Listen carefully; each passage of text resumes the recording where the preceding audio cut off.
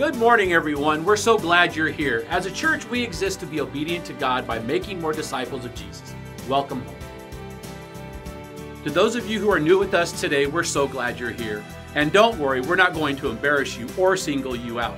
We don't want something from you, but we do want to connect with you.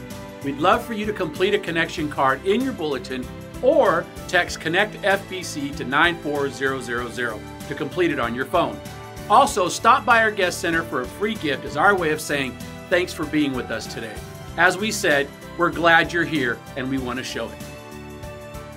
And if you want to know what gets us excited and how we do what we do, then you want to stay today after service for a free lunch and our Discover class. This is your next step in our church family. It's in the fireside room out in the Tribe building, and we would love to see you there. Whether this is your first time or you've been with us for a while, the connection card is your way to register your decision today, sign up for events, or connect with us. The connection card is a part of your bulletin, or you can also complete it online by texting Connect FBC to 94000.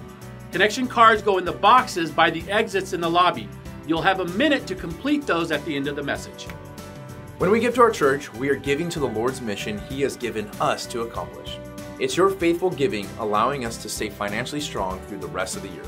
Giving not only supports our ministry partners here and around the world, but it also supports the operational ministries here that help us take another step towards Jesus and invest in the lives of our family, friends, and neighbors.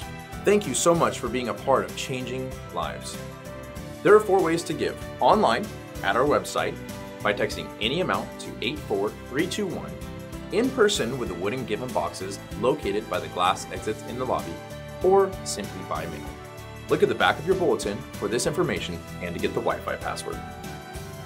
This month is our Global Focus Month, where we focus on our impact here and around the globe and how you and I can get involved in carrying the life changing message of Jesus to the ends of the earth, starting in our own neighborhoods.